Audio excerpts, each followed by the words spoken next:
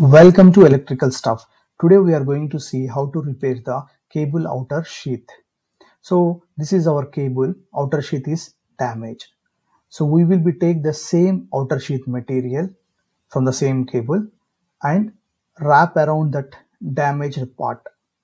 So in this fashion with the help of cable ties. So that gap is very minimal.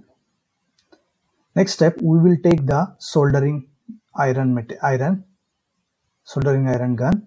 With the help of soldering iron gun, the gaps between the gaps we make some groove type. Later stage, this groove is we will be we need to fill. During the process, we we need to keep some water uh, uh, water with us. So in meanwhile, the other person with you he will be cut the cut pieces. You see in the in the video.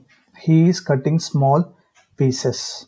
These small outer sheet cut pieces is going to fill in this groove area. Now you will be see this is the our cut sheet so now we will be going to show you that this is the cut sheet. So these cut sheet act like a filler material. With the help of solder gun, we will be do neatly finishes.